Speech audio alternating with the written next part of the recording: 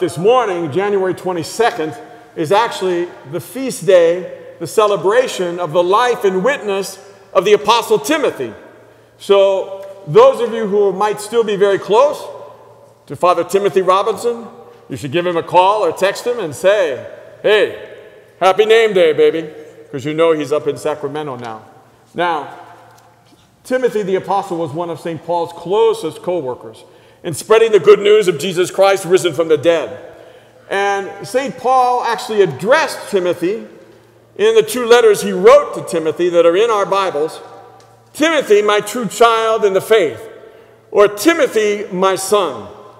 And it's why we read from the St. Paul's first letter to Timothy this morning.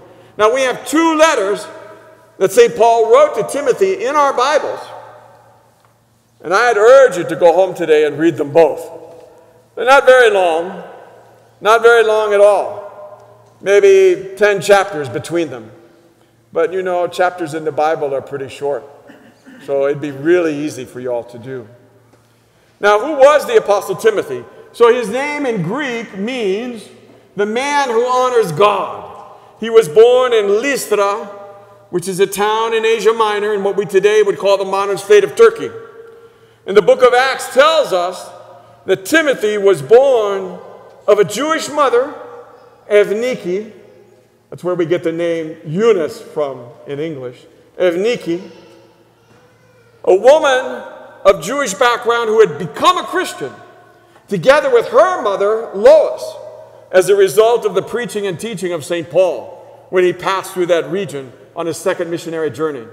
So, Timothy's father, we discover, though, was a Greek and a non believer. A religiously mixed marriage, we might say today. But Timothy, nonetheless, was raised in a household where the name of Christ was lifted up. And there's a certain sense in which we could almost speak of Timothy as a third generation Christian, given that his mother and grandmother were both Christians. And St. Paul describes their faith, and he says that their faith most English translations say was sincere. The Greek word, from my point of view, is stronger. Anhypokritos, literally without hypocrisy.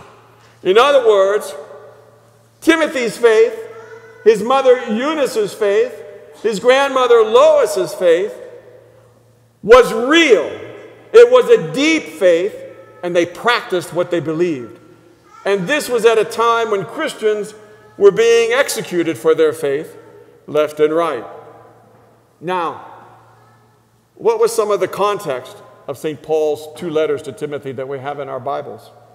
Well, St. Paul is writing his two letters to Timothy sometime probably between 65 and 67 AD, when he's already in prison in Rome, waiting for his trial and his eventual execution for the crime of being a Christian under the Roman Emperor Nero. He burned half the city of Rome down. You know that, right? Nero burned half of the city of Rome down and then said, The Christians did it. Nice man. What did it mean to be a Christian in Nero's Rome? So, Christians were used, once he began the persecutions, to light Nero's imperial gardens at night what do I mean by that?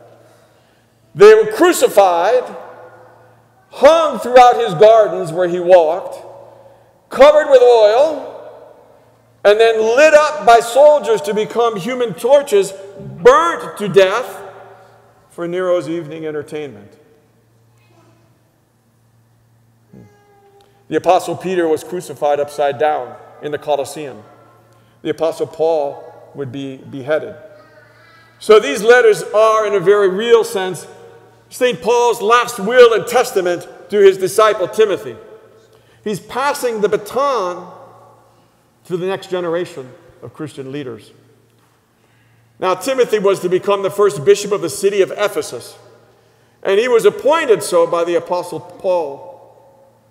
And those of you who went with me to Ephesus, Barbara, no, you didn't go to that? Oh my gosh, who went with me to Ephesus? Did anybody here? Ah, Georgia, I should have known. Yes. Well, you missed something, Barbara. Wayne, you will have to take her there. Okay? You have to, you have to, you have to get her there. So if you go to Ephesus today, it's one of the world's most important archaeological sites. And when we walk down the streets of that ancient city, ancient Roman streets, more than 2,000 years old, we were walking on the streets that the Apostle Paul and the Apostle Timothy walked on. That's pretty amazing. The Third Ecumenical Council was held in Ephesus in the year 431, forgive me. Ephesus was a pretty important city in the ancient Roman world and an important city for Christians. Now, Timothy, just so you know, as the leader of the Christians in Ephesus, as their bishop and apostle, he was eventually stoned to death by an angry mob who were the worshippers of the fertility goddess Artemis. And in the ancient world, the temple dedicated to Artemis in Ephesus was considered to be one of the seven wonders of the ancient world. Today, the only thing that survives is one column out in the middle of nowhere in a swamp. But what do St. Paul's two letters to Timothy talk about? Timblasides, this is your name day, right? You know that, right? Okay. What did St. Paul's two letters to Timothy talk about? What insights does Paul offer to Timothy, knowing that he's going to die? What advice does the older apostle give to this young man? Remember, St. Paul writes to him, Don't let other people despise your youth or look down on you because you're young. He was probably only in his 20s, early 20s, probably when he became the leader of the Christians in Ephesus, their bishop and their apostle. Now, the Apostle Paul, in these two letters, he says a lot of stuff. He gives the qualifications for being a bishop and the qualifications for being a deacon. Think of Deacon Dan. When I had to write a letter for his ordination, I had to write a letter that included the Apostle Paul writing to Timothy what was expected of a deacon. That still stands in our church all the way to this day. He also writes about in these letters what it means to be a presbyter. That's my title. It just means old guy. And actually, years ago, Bishop Anthony, the late Bishop Anthony, gave me the title proto presbyter. And that means, George, you're going to love this, first among the old guys. Okay? That's really all that means. We are a church full of meaningless titles, oftentimes. But the reality of our faith in Christ has to be here, has to be present in all of you. Um, he writes about presbyters. That word, by the way, is normally translated as elder in your English Bibles, but it's a reference to the office of the priesthood. Um, he writes about the need for the church to care for widows. And in today's reading, he even says, there's a very real need for Timothy as a leader to set the example of what it means to actually be a Christian in speech, Paul writes. In other words, by what he says.